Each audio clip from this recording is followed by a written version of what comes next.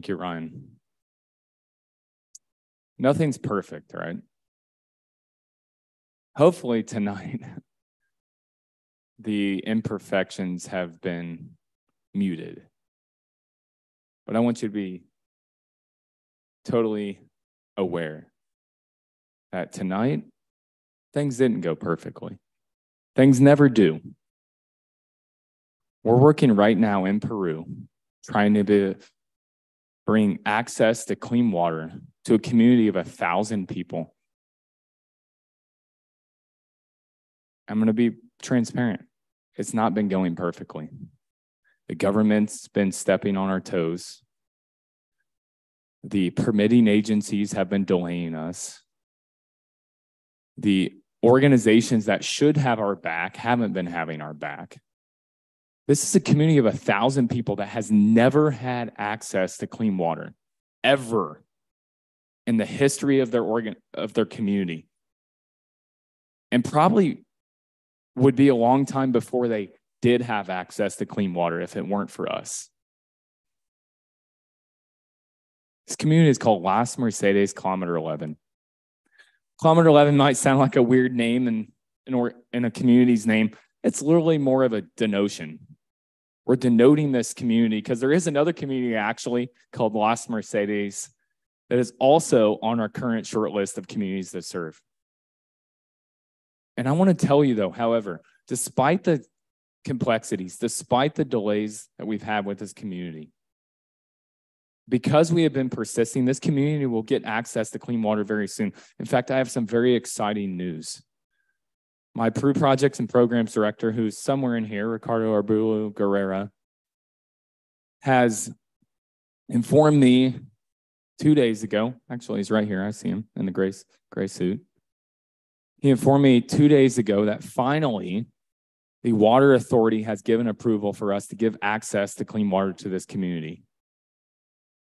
Everything else will fall in line after that.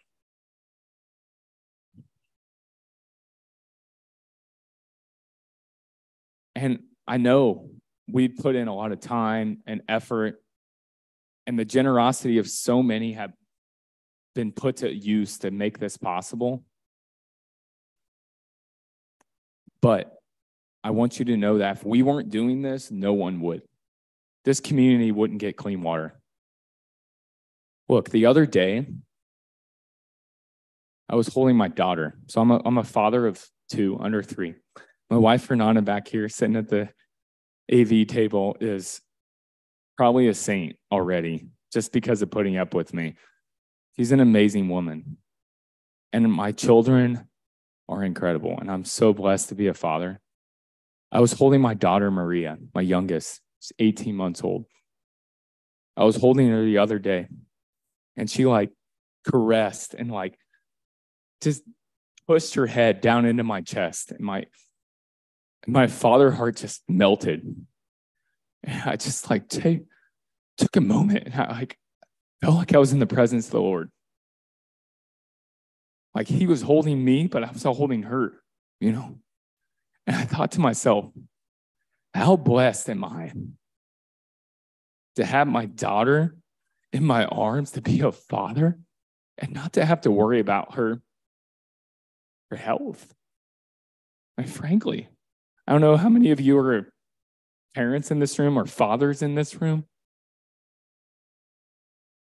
but I cannot imagine losing my daughter not break me to a waterborne illness. Every 90 seconds, a child under the age of five years old is dying from a waterborne illness somewhere in the world.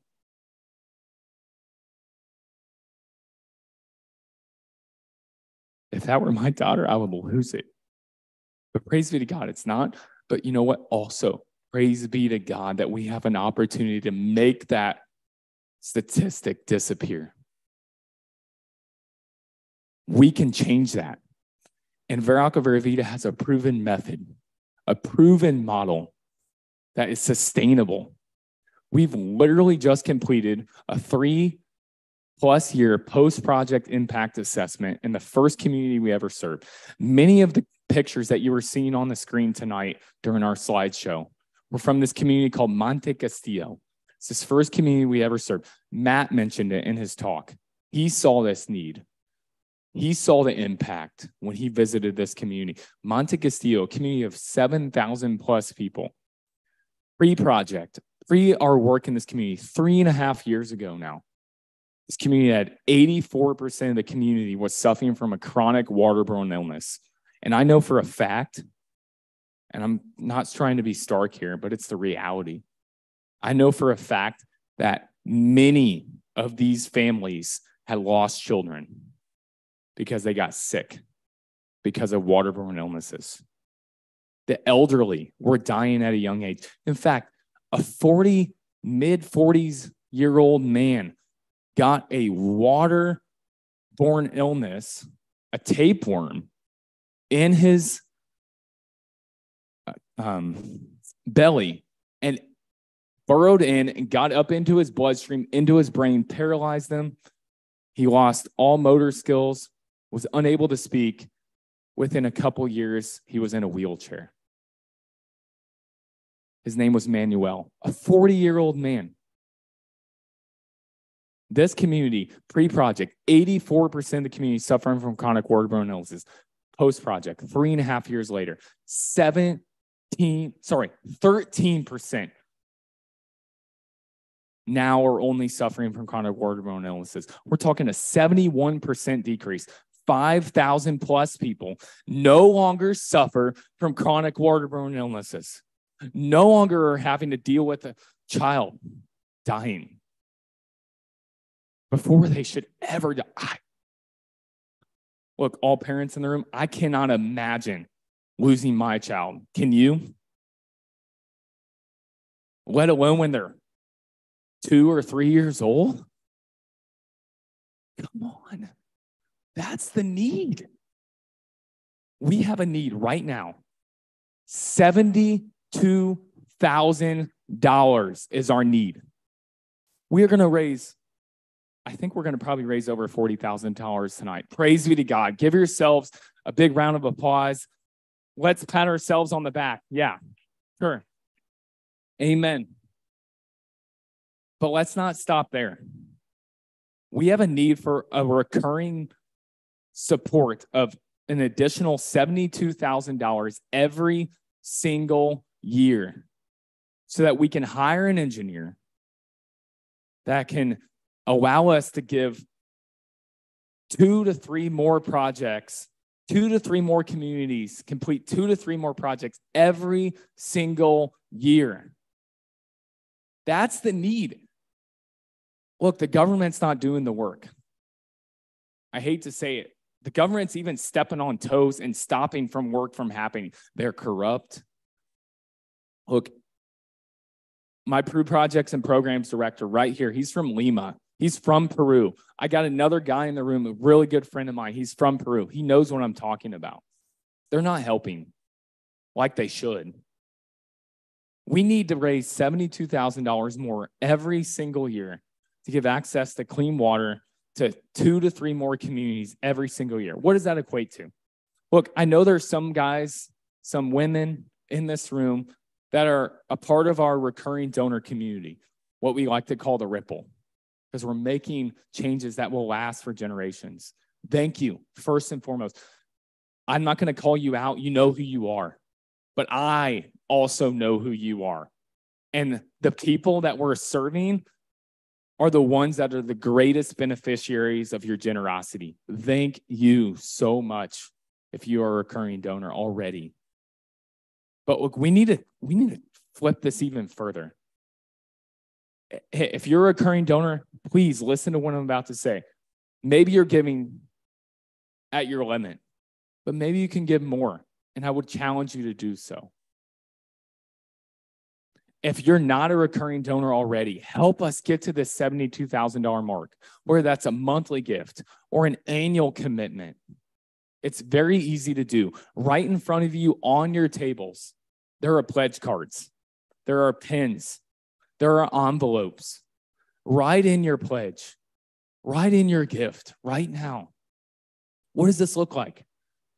This looks like 120 people at what? Can someone help me? Can someone do the math? 120 people, how many people a month would help us to get to $72,000 a year? Who's really good at math? 600. No, it's actually not. 50 people at 50 a month would be what? 20. What was that? 2500 a month times 12 would not be $72,000. In fact, 100 people at $50 a month, which would be $5,000 a month, would be $60,000 a year. We need every person in this room to help us cross this threshold. Please. If we can do this, literally, I am not joking you. We have developed a model, an approach, a system that works. It's sustainable. I promise you, we have developed a sustainable. We put in the last two and a half to three years into developing a model and a system that works. Grab your pledge cards and help make this model last for generations to come. With your support, even just $50 a month, we can give access to clean water for one person for generations to come. Look, never doubt that a small group of people can change the world. Indeed, it's the only thing that ever has.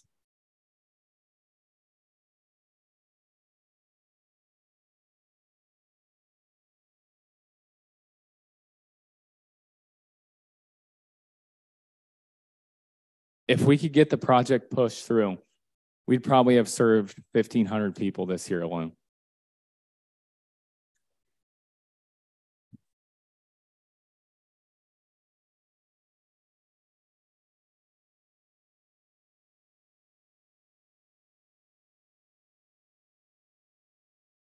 This community of Las Mercedes Kilometer 11, community of a thousand people, we'd have community clean water for this community for generations to come.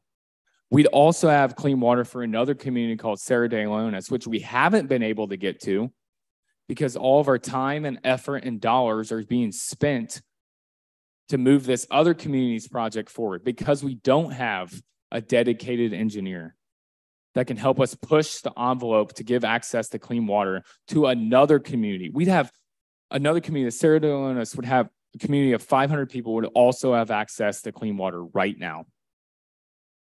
That's the reality. So I know y'all are sitting here and you're thinking, what do I do?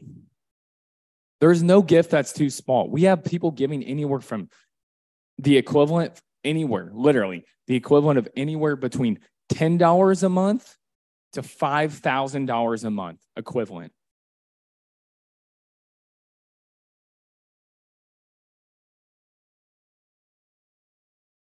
No gift is too small.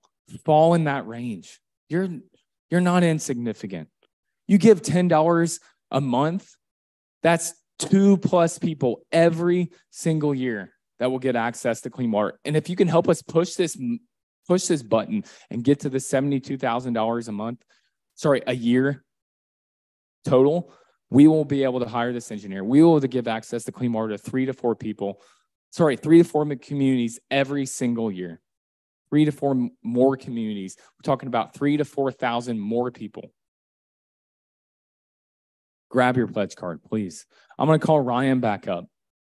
He's going to close us out. Thank you so much. In the words of Blessed Pier Giorgio Frassati, verso l'alto.